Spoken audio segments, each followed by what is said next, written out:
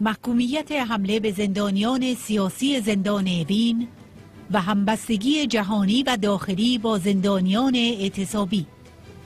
کمیته پارلمانی بریتانیایی برای آزادی ایران با صدور بیانیه اعلام کرد در یک نمونه دیگر از وحشیگری رژیم روحانی پنجشنبه 17 آوریل زندانیان سیاسی بند 350 زندان اوین از جمله هواداران سازمان مجاهدین خلق ایران مورد حمله بیرحمانه نیروهای امنیتی سرکوبگر رژیم ایران قرار گرفتند.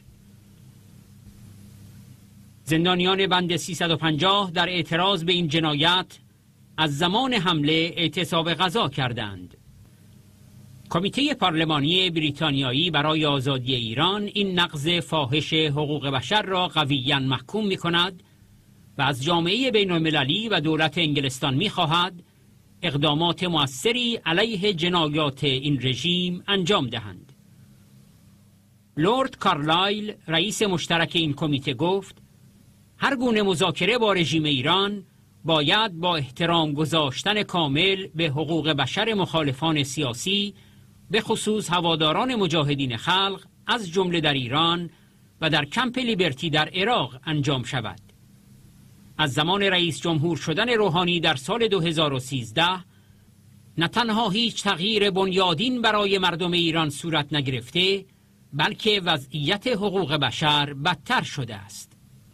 زندانیان سیاسی بند 350 زندان اوین در اولین پنج شنبه پس از تهاجم خونین دشخیمان در محبته بند راهپیمایی کردند و سرودها و ترانه های ای ایران یار دبستانی و مرغ سهر خواندند.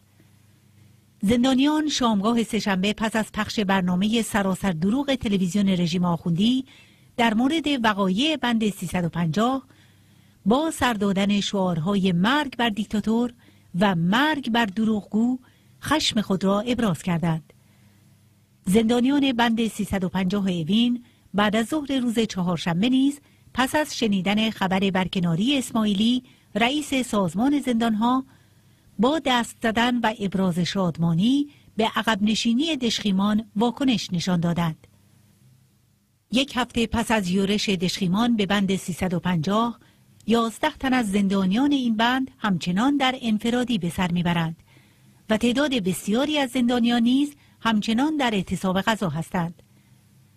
پس از گذشت بیش از یک هفته از انتقال غلامرضا خسروی و سعید متینپور به انفرادی بند 240 زندان اوین نگرانی از وضعیت جسمی آنها تشدید شده است.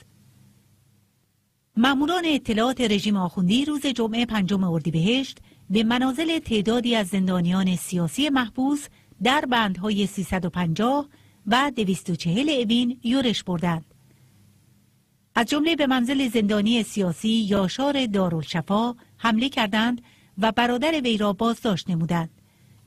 یاشار دارالشفا از زندانیان مضروب بند 350 در روز 28 فروردین بود که همکنون نیز در اعتصاب غذا به سر می‌برد. 19 تن از زندانیان سیاسی گوهردشت کرج در حمایت از زندانیان سیاسی بند 350 اوین دست به اعتصاب غذا زدند و برخی از آنها موهای خود را تراشیدند. اعتصاب غذای این زندانیان از چهارشنبه سوم اردیبهشت شروع شده است. زندانیان سیاسی کرد در زندانهای جنوب ایران از روز جمعه پنجم اردیبهشت در محکومیت حجوم ماموران جنایتکار اوین به زندانیان بند 350 دست به اعتصاب غذا زدند. این اعتصاب غذا به مدت سه روز ادامه خواهد داشت. بعد از یورش دشخیمان رژیم آخوندی به زندانیان بند 350 اوین و مقاومت و اعتراضات آنها در زندانهای بیرجند، چناران، سرخس، کرمان و زابل از شنبه هفته گذشته فضا بسیار امنیتی و متشنج شده است. کنترل زندانیان در واحدها بسیار شدیدتر از قبل انجام می شود و بیشتر ملاقات های حضوری لغو شده است. دشخیمان رژیم به سراحت به زندانیان گفتند به دلیل اتفاقات پیش آمده در زندان وین از تهران دستور آمده است که تا اطلاع ثانوی این شرایط اعمال بشود. جمعی از دانشجویان دانشگاه آزاد عراق طی بیانیه‌ای یورش وحشیانه نیروهای سرکوبگر رژیم آخوندی به زندانیان سیاسی بند 350 اوین را محکوم و اعلام کردند ما جمعی از دانشجویان دانشگاه آزاد عراق در حمایت از زندانیان مجروح و مصدوم که در برابر این جنایت مقاومت و ایستادگی کردند می‌گوییم دانشجو همیشه در طرف حق ایستاده و در برابر این بیعدالتی و نقض حقوق بشر ساکت نمی نشیند.